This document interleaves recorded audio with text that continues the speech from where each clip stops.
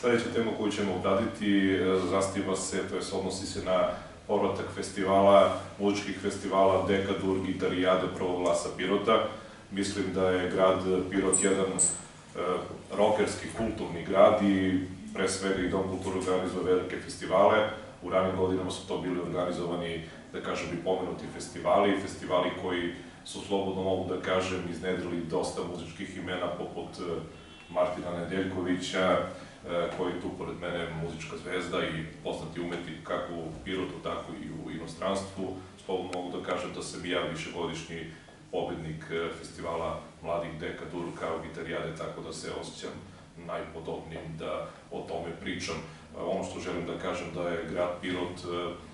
napravio jednu malu scenu u starom domu koja je podobna za ove festivale i mislim da bi tu mladi ljudi, pa da kažem i stari sugrađani za njihove festivale, pevačke ili muzičke, mogli da otkriju svoje ovaj, talente i da to bude jedna inicijalna kapisla za dalji rad, kao što smo i mi, da kažemo, nastupali kako na Trikaturu, Idolu, Martin u Zvezdama Granda, tako da eto,